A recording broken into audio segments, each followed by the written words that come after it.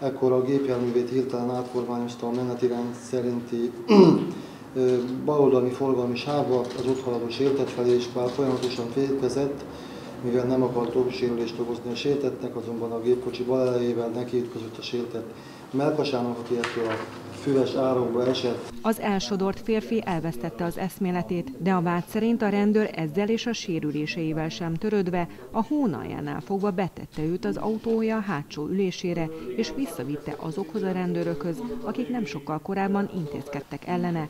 Azt viszont nem említette meg, hogy elütötte őt.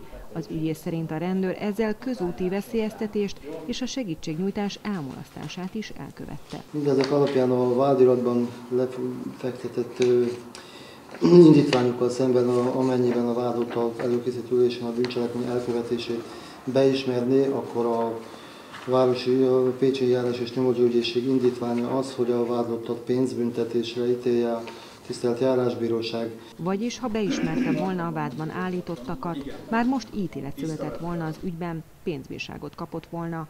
A rendőr és az ügyvédje viszont mindent tagadtak. Az ügyben ezért még újabb tárgyalások lesznek a következő december 22-én.